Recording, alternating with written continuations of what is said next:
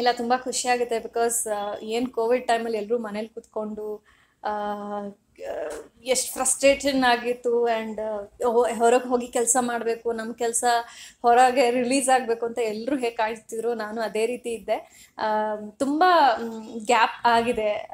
Covid reason ಆಗಿದ್ರು ತುಂಬಾ gap ಆಗಿತ್ತು ನನ್ನ ಸಿನಿಮಾಗಳು ಬಂದು ಸೊ ಒಟ್ಟೊಟ್ಟಿಗೆ ಎಲ್ಲ ಸಿನಿಮಾಗಳು ರಿಲೀಸ್ ಆಗ್ತಿದೆ. ಬ್ಯಾಕ್ ಟು ಬ್ಯಾಕ್ ಮದಗಜ ಆಗಲಿ, ಅದ ನಂತರ, ಅವತಾರ ಪುರುಷ ಗರುಡ ಲಾಸ್ಟ್ ವೀಕ್ ಅಷ್ಟೇ ರಿಲೀಸ್ ಆಯಿತು. ಇವಾಗ ಕಾಣೆಯಾದವರ ಬಗ್ಗೆ ಪ್ರಕಟಣೆ ಸೊ ಜನಗಳಿಗೆ ಹೆಚ್ಚಾಗಿ ಮನಸ್ಸಿಗೆ ಹತ್ರ ಆಗೋದು ನಾವು ತೆರೆ ಮೇಲೆ ಕಾಣಿಸ್ಕೊಂಡಷ್ಟು. ಸೊ ಖುಷಿ ಆಗುತ್ತೆ ಆಸ್ ಅನ್ ಆ್ಯಕ್ಟರ್ ಬೇರೆ ಬೇರೆ ರೀತಿಯಾದ ಪಾತ್ರದಲ್ಲೂ ಒಂದೊಂದು ವಾರನೂ ಒಂದೊಂದ್ಸಲಿ ನನ್ನನ್ನು ನೋಡಕ್ ಬರ್ತಾರೆ ಅಂತ. ಸೊ ನಾನೆಲ್ಲ ಫ್ಯಾನ್ಸ್ಗೂ ಡೆಫಿನೆಟ್ಲಿ ಕಾಣೆಯಾದವರ ಬಗ್ಗೆ ಪ್ರಕಟಣೆಯಲ್ಲೂ ಒಂದು ಒಳ್ಳೆ ಪಾತ್ರ ಇದಾಗಿರುತ್ತೆ. ಒಂದು ಸ್ಪೆಷಲ್ ರೋಲ್ ಅಂತ ಬಂದ್ರೂ ಒಂದು ಒಂದು ಸ್ವಲ್ಪ ಬತ್ ಬಂದು ಹೋದ್ರೂ ಮನಸ್ಸಲ್ಲಿ ತುಂಬಾ ಉಳಿಯುವಂತಹ ಪಾತ್ರ ಇದಾಗಿರುತ್ತೆ. ಇಫ್ ನಾಟ್ ನಾನು ಈ ಸಿನಿಮಾ ಮಾಡಿಲ್ಲ ಅಂದ್ರೂ ಡೆಫಿನೆಟ್ಲಿ ಈ ಸಿನಿಮಾನ ನೋಡ್ತಿದ್ದೆ. ಬಿಕಾಸ್ ಒಂದು ಒಳ್ಳೆ ಕಂಟೆಂಟ್ ಕನ್ನಡ ಸಿನಿಮಾಗಳು ಬರೋದು ತುಂಬ ಅಂದರೆ ಒಂದು ಒಳ್ಳೆ ರೀತಿಯಾದ ಟೆಕ್ನಿಕಲಿ ಸ್ಟ್ರಾಂಗ್ ಆಗಿರಲಿ, ಅಥವಾ ಒಂದು ಒಳ್ಳೆ ಸ್ಕ್ರಿಪ್ಟೆಡ್ ಕತೆಗಳು ಬರೋದು ತುಂಬ ಕಮ್ಮಿ. ಈಗ ಒಳ್ಳೊಳ್ಳೆ ಸಿನಿಮಾಗಳು ಬರ್ತಾ ಇದೆ ಕನ್ನಡದಲ್ಲಿ. ಸೊ ಇದು ಒಂದು ಒಳ್ಳೆ ಪ್ರಯತ್ನ ಆಗಿರುತ್ತೆ ಅನ್ನೋ ಒಂದು ಕಾನ್ಫಿಡೆನ್ಸ್ ನನಗಿದೆ ಆ್ಯಂಡ್ ಒಳ್ಳೆ ಟೀಮ್ ಇದೆ.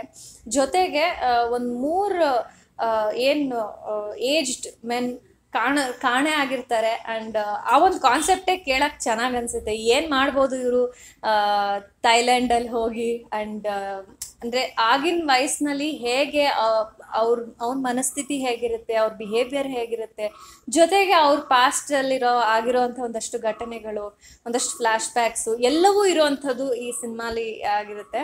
ಸೊ ಏನು ಜನಗಳಿದೆ ಇತ್ತೀಚೆಗೆ ಒಂದು ಕಂಟೆಂಟ್ ಸಿನಿಮಾಗಳಾಗ್ಲಿ ಅಥವಾ ಒಂದು ಹೊಸ ರೀತಿಯಾದ ಪಾತ್ ಸಿನಿಮಾಗಳನ್ನ ಎಕ್ಸ್ಪೆಕ್ಟ್ ಮಾಡ್ತಿದ್ದಾರೆ ಇದು ಖಂಡಿತವಾಗ್ಲೂ ಅದಾಗಿರುತ್ತೆ. ಸೊ ಡೆಫಿನೆಟ್ಲಿ ಒಂದು ಒಳ್ಳೆ ಸಿನಿಮಾ ಅಂತೂ ಖಂಡಿತವಾಗ್ಲೂ ಇರುತ್ತೆ. ಅಂಡ್ ಈ ಸಿನಿಮಾನ ಎಲ್ಲರೂ ಆಸ್ ಅ ಕನ್ನಡ ಆಡಿಯನ್ಸ್ ಬಂದು ಸಪೋರ್ಟ್ ಮಾಡಬೇಕು, ಒಂದು ಒಳ್ಳೆ ಕಂಟೆಂಟ್ ಸಿನಿಮಾಗಳನ್ನ ಜನಗಳು ಯಾವತ್ತೂ ಕೈ ಬಿಟ್ಟಿಲ್ಲ. ಸೊ ಕಾಣೆಯಾದವ್ರ ಬಗ್ಗೆ ಖಂಡಿತವಾಗ್ಲೂ ಒಂದು ಒಳ್ಳೆ ಸಿನಿಮಾ ಇದು ಗೆಸ್ಟ್ ರೋಲ್ ಅಥವಾ ಏನು ಕ್ಯಾಮಿಯೋ ಅಂದಾಗ ಬೇಕಾ ನೆಸೆಸರಿನ ಮಾಡಬೇಕಾ ಅಂತ ಅನ್ನಿಸ್ತು ನನಗೆ. ಬಟ್ ಯಾ, ಇಲ್ಲ, ಒಂದ್ಸಲಿ ನೀವು ಕತೆ ಕೇಳಿ ನಿಮ್ಗೆ ಡೆಫಿನೆಟ್ಲಿ ಕ್ಯಾರೆಕ್ಟರ್ ಇಷ್ಟ ಆಗುತ್ತೆ ಅಂದಾಗ ಆಬ್ವಿಯಸ್ಲಿ ಅನಿಲ್ ಸರ್ ಮುಂಚೆಯಿಂದನೂ ಒಂದು ನಮ್ಮ ನಮಗೆ ಅಥವಾ ನಮ್ಮ ಫ್ಯಾಮಿಲಿ ಜೊತೆ ಇರೋ ಒಂದು ಒಂದು ಒಳ್ಳೆ ರಿಲೇಶನ್ಶಿಪ್ಪಿಂದ ಅವರು ಬಂದು ನನಗೆ ಕತೆ ಹೇಳಿದಾಗ ಏನು ನಾವು ಏನು ಗೆಸ್ಟ್ ರೋಲ್ ಅಥವಾ ಕ್ಯಾಮಿಯೋ ಅಂತ ಬಂದಾಗ ಒಂದು ಪರ್ಟಿಕ್ಯುಲರ್ ಸೀನ್ಗೆ ಅಥವಾ ಒಂದು ಎರಡು ಸೀನಿಗೆ ಸೀಮಿತವಾಗಿರುತ್ತೆ. ಬಟ್ ಈ ಒಂದು ಪಾತ್ರ ಇಡೀ ಕಥೆನೇ ಅಥವಾ ಈ ಬೇರೆ ಒಂದಷ್ಟು ಕ್ಯಾರೆಕ್ಟರ್ಸಲ್ಲಿರೋ ಒಂದು ಬದಲಾವಣೆ ಮಾಡುವಂಥ ಒಂದು ಪಾತ್ರ ಇದಾಗಿದೆ ಸೊ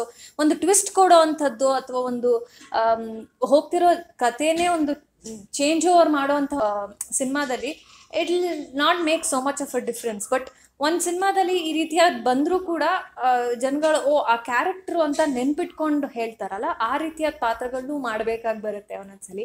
ಆ್ಯಂಡ್ ನಾನು ಆ್ಯಸ್ ಅನ್ ಆ್ಯಕ್ಟರ್ ನಾನು ಎಲ್ಲ ರೀತಿಯಾದ ಪಾತ್ರದನ್ನು ಪಾತ್ರಗಳನ್ನ ಎಕ್ಸ್ಪ್ಲೋರ್ ಮಾಡೋಕ್ಕೆ ಇಷ್ಟಪಡ್ತೀನಿ. ನಾನು ಒಂದೇ ರೀತಿಯಾದ ಜಾನರು. ಫಸ್ಟಿಂದ ಕೊನೆವರೆಗೂ ಇರಬೇಕು. ಪರವಾಗಿಲ್ಲ, ಹೊಸತನ ಇಲ್ದಿದ್ರು ಪರವಾಗಿಲ್ಲ ಅನ್ನೋ ಥರ ಅಲ್ಲ. ನನಗೆ ಆ್ಯಸ್ ಅನ್ ಆ್ಯಕ್ಟರ್ ನನಗೆ ಎಕ್ಸೈಟ್ ಆಗಬೇಕು, ಯಾವುದೇ ರೋಲ್ ಆದರೂ.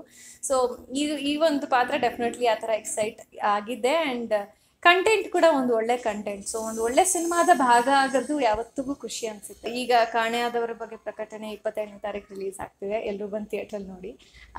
ನೆಕ್ಸ್ಟ್ ರೆಮೋ ರಿಲೀಸಿಗೆ ರೆಡಿ ಆಗಿದೆ. ಅದು ಇನ್ನೇನು ಪ್ರಮೋಷನ್ಸ್ ಎಲ್ಲ ಆದಷ್ಟು ಬೇಗ ನಾವು ಶುರು ಮಾಡ್ತೀವಿ. ಅದು ಒಂದು ಒಳ್ಳೆ ಮ್ಯೂಸಿಕಲ್ ಲವ್ ಸ್ಟೋರಿ ಆಗಿರುತ್ತೆ. Out and out musical love ಸ್ಟೋರಿಲಿ ಮೊದಲನೇ ಬಾರಿ ಕಾಣಿಸ್ಕೋತಿರೋದು. ಆ್ಯಂಡ್ ನಂತರ ಒಂದು ತೆಲುಗು ಸಿನಿಮಾ ಶೂಟಿಂಗ್ ನಡೀತಾ ಇದೆ. ತಮಿಳ್ ಸಿನಿಮಾ ಕೂಡ ರೆಡಿ ಆಗಿದೆ. ಅದು ರೆಡಿ ರಿಲೀಸಿಗೆ ರೆಡಿ ಇದೆ. ಆ್ಯಂಡ್ ಇನ್ನೊಂದು ಈಗ ಆ್ಯಸ್ ಆಫ್ ನಾಫ್ ಶೂಟ್ ಮಾಡ್ತಾ ಇರೋದು ಓ ಟು ಅಂತ. ಪಿ ಆರ್ ಕೆ ಪ್ರೊಡಕ್ಷನ್ಸಲ್ಲಿ ಮಾಡ್ತಿರೋಂಥ ಒಂದು ಮೆಡಿಕಲ್ ಥ್ರಿಲ್ಲರ್ ಇದಾಗಿರುತ್ತೆ.